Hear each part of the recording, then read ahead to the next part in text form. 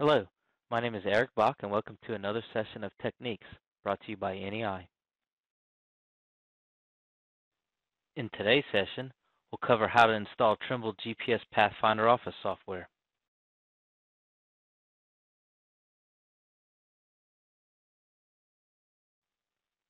Our first step is to go out to the internet and download the software. So we're going to go to neigps.com. When the web page opens up, under our Solutions tab, we're going to go down to Support, over to Support Documentation, and choose Mapping and GIS. In the next page, we're going to click under Downloads and choose Software Downloads, and then we're going to choose the GPS Pathfinder Office version 5.60 we will have the most current version with the word current in parentheses next to it, so you know which one to download.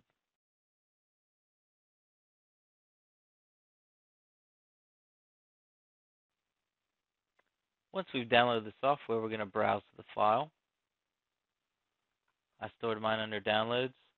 It comes in a zip file. I've already unzipped this, and it's going to be in the Trimble GPS Pathfinder Office version 560 folder. I'm going to open that up, and we're going to go to autorun.exe, and we'll select Run.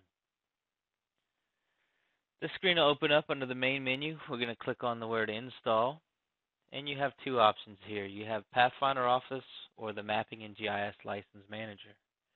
If you were to install a floating license, I recommend you install the License Manager first. In this case, we're just going to go with GPS Pathfinder Office.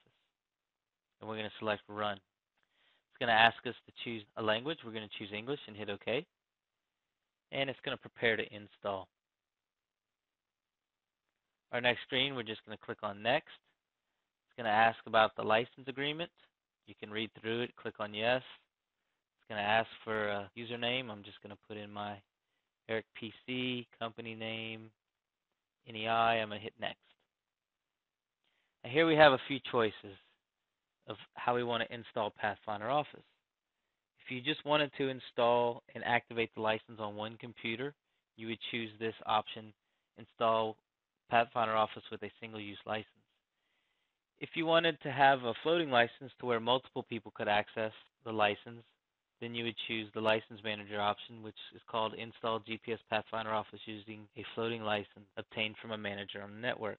The reason you would do this is, let's say we have one copy of Pathfinder Office, but we have three users. We can install the License Manager, activate the code on the License Manager, and install Pathfinder Office on as many machines as we want. The only drawback is whenever someone uses that license up, it locks it out to where no one else can use it, and they have to return the license in order for other people to use it. The third option is called Install Pathfinder Office in Viewer Mode. I call this the free mode. An example of using this license level would be I have a field crew. They don't come back to the office much, but they want to transfer the data, view the data, and then email it back to the main office. In that instance, you would use the viewer mode. For today's session, we're going to install this directly to my laptop and activate it on my laptop. So we're going to choose Install GPS Pathfinder Office with a single-use license. We're going to click on Next.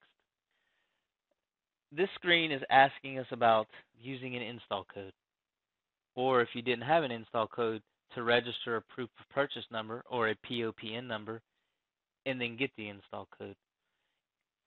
For new software purchases, NEI supplies our customers with a sheet similar to this.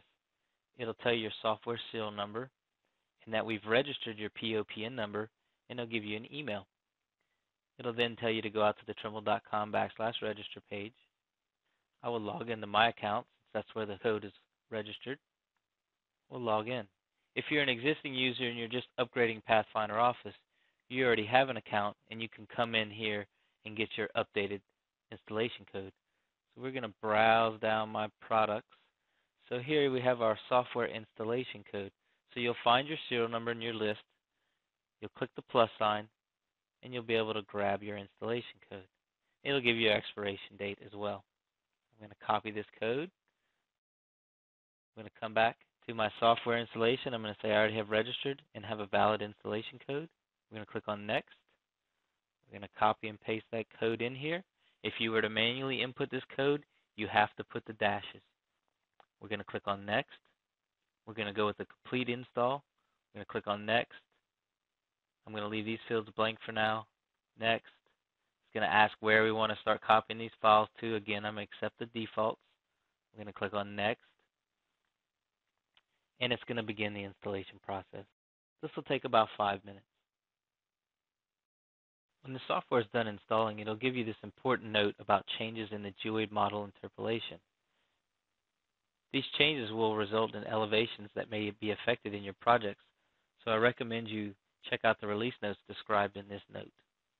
We're going to click OK. This screen asks about checking for program updates. We recommend that you do this by clicking on Next. We'll choose Next again. It'll ask the Trimble website. We're going to choose Next. And currently there are no updates for this software. So we'll just hit Next again, Next again. To complete the installation process, we need to activate the software. So in this section, it's asking us to choose a language. We'll click on English and select OK. We'll enter our installation code, click on Next. We have a few options to activate the software. In this case, we're going to try it over the internet. So we're going to select that and click on Next, and it's going to go out to the Trimble activation server and activate our software. Once completed, it'll tell you if it's been successful or not. We're going to click on Finish. This concludes today's technique session. Please visit neigps.com for more videos, FAQs, and information on upcoming trainings. Thank you and have a great day.